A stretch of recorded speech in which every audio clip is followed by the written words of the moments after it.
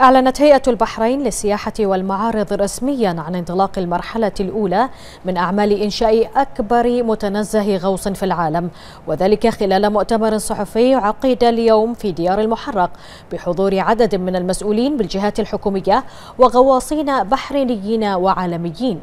وأكد وزير الصناعة والتجارة والسياحة رئيس مجلس إدارة هيئة البحرين للسياحة والمعارض سعادة السيد زايد بن راشد الزياني خلال المؤتمر أن المشروع سوف يسهم في تعزيز سمعة المملكة كوجهة سياحية متميزة في المنطقة مضيفا أنه بعد افتتاح المتنزه في أغسطس المقبل سيتمكن المواطنون والمقيمون والسياح من الحجز عن طريق مراكز الغوص المرخصة التي سيكون دورها تنظيم الرحلات للمتنزه.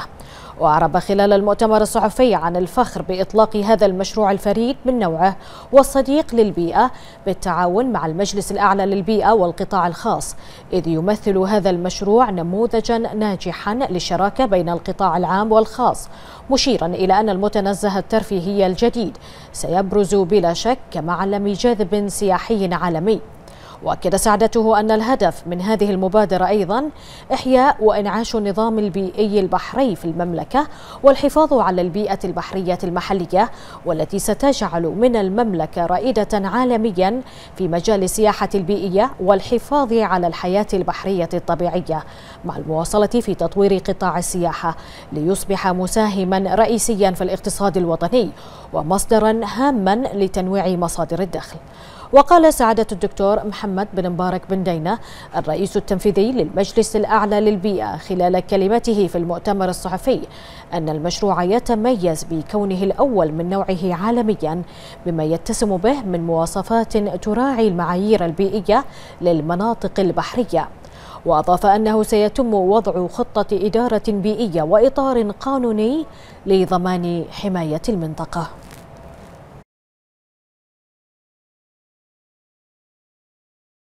عبر هذا المؤتمر الصحفي تم إماطة اللثام عن ماهية أكبر متنزه غوص في العالم.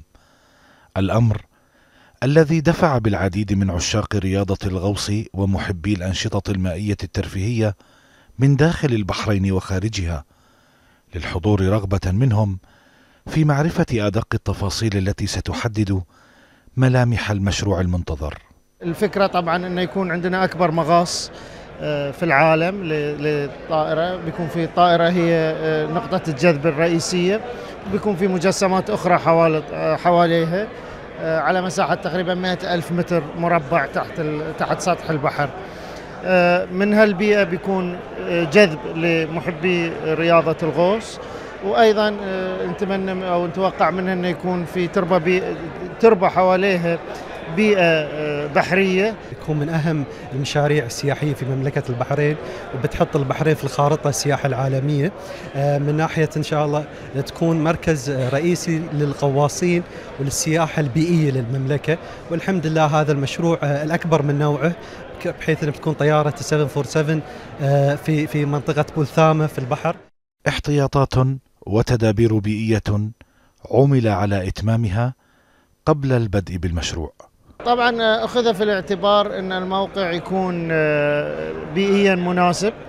آه، تم تجهيز الطائرة والمجسمات الأخرى على مستوى عالمي مرتفع أيضا للحفاظ على البيئة وتطويرها. بداية المشروع بتكون الطائرة وهي تقريبا أكبر طائرة تم إنزالها على مستوى العالم. تم دراستها بيئيا. تم التخلص من كافة المواد الضارة البيئية في الطائرة. بيكون بالإضافة إلى ذلك مشروع آه، أرياف صناعية. ولإعطاء الحدث الأهمية التي يستحقها خصصت منطقة مفتوحة للجمهور المهتم لمشاهدة لحظة إطلاق هذا المشروع الفريد من نوعه والذي تم تنفيذه وفقا لأعلى المعايير البيئية الدولية والذي سيسهم في إنعاش النظام البيئي البحري في المملكة. راح تحقق أهداف سياحية من ناحية آه، غوص وجذب لهواة الغوص من داخل وخارج البحرين. وكذلك راح تحقق أهداف بيئية لأن المكان راح يكون منتزه مائي وكذلك راح راح يتكون عليه المرجان مع الوقت ويروح ويكون مأوى للأسماك والشعاب المرجانية واللي يحبون يسوون الأبحاث هذه. الفكرة بشكل عام وايد حلوة كمقاس ترفيهي للغواصين.